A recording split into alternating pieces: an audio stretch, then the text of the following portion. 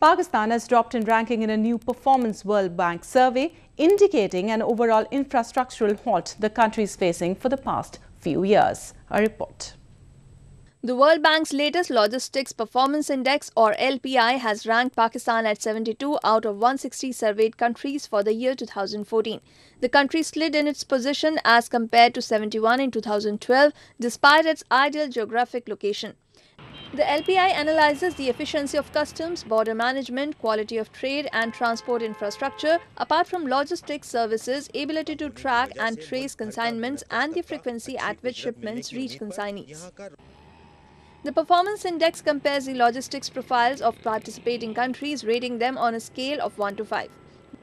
Pakistan and India have been placed in the group of partial performer countries, which include nations with the logistics constraints most often seen in low and middle income economies.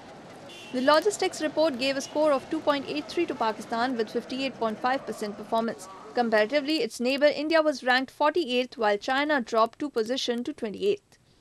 Analysts believe Pakistan's infrastructural situation might improve in coming years owing to the proposed Lahore-Karachi motorway and the China-Pakistan economic corridor.